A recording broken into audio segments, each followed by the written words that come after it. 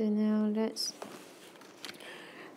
jot down all the value that you have obtained which is h1 is equal to 251.42 kilojoule per kg your h2a we are going to consider the actual value only which is 275.3255 kilojoule per kg and next is your h3 which is 3539.0 kilojoule per kg H4A is equal to 2917.62. Your H5 is equal to 3474.8. And finally, your H6A is equal to 2652.635 kilojoule per kg. Right now, with all this value, we will solve the things that we are looking for over here.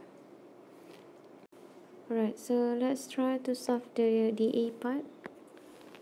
So you have A is to find work of your turbine. So you are going to consider your high pressure turbine state 3 and 4A and low pressure turbine state 5 and 6A so finally the work of your turbine you will obtain H sorry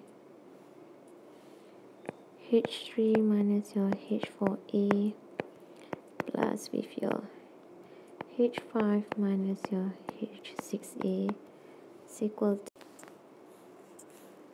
1443.545 kilojoule kg. Next part is to find your work pump which is in between your state 1 and your 2A over here. So H2A minus with your H1 is equal to 23.9055 kilojoule per kg. And then C is to find your thermal efficiency. So you will need to have your work net and your Q in. So work net is actually where summation of your turbine minus with the work of your pump. So you will get 1419.64 kilojoule per kg. And as for your Q in you will going to consider your Q boiler which is in between 3 and 2A plus with the reheating part which is in between 4A and 5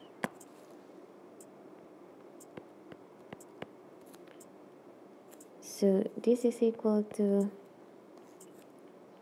H3 minus your H2A plus with your H5 minus your H4A and finally the value for Q in is equal to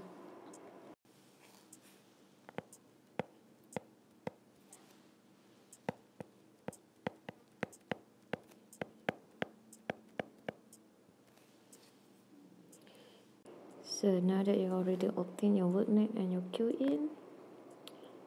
So your thermal efficiency will be 1419.64 over 3820.8545 times 100 so it is equal to 37.16 percent finally is to find your m dot where you make use of that w dot net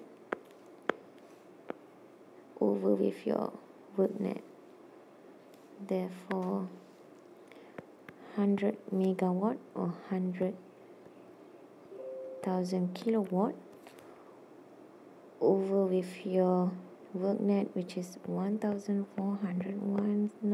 1401.9.64 so finally your m dot is equal to 70.44 kilogram per second. So we have completed all these questions A, B, C and D. We will meet again for next tutorial and example. Thank you